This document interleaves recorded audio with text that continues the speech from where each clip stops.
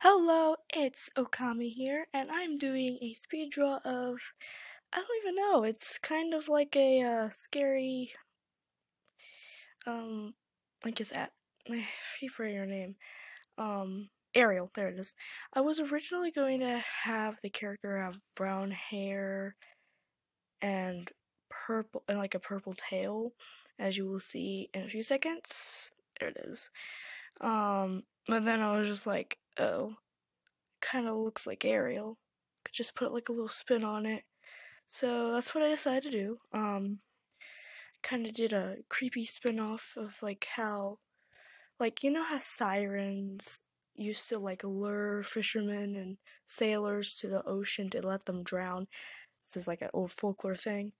Um, I kind of did like something off of that, except it's not like singing, it's just like their appearance, I guess. Um, I was just, I was kind of bored.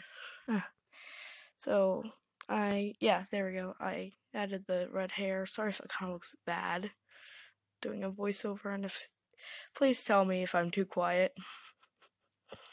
um, but I kind of wanted to do a weird looking Ariel. It's going, the tail's going to turn green in a few seconds. Um, there we go. And then it, I kind of had like this weird vision. Um, oh, I don't know why I just went white. Okay, that's weird. Oh well. Um, but yeah, and then that's really it. Uh, have a nice day. Bye.